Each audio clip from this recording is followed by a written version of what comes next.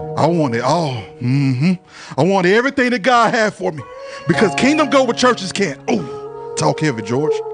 Kingdom go where churches can. And when God put you in position, then people have no choice but to move out your way. Oh, you gotta feel that. People had no choice but to move out your way. This is what you call preparation. Mm-hmm. This is what you call elevation. Mm-hmm. This is what you call separation. Mm-hmm. And when you favor, the only thing you gotta do is show up, and God will do the rest. Facts. Big dog.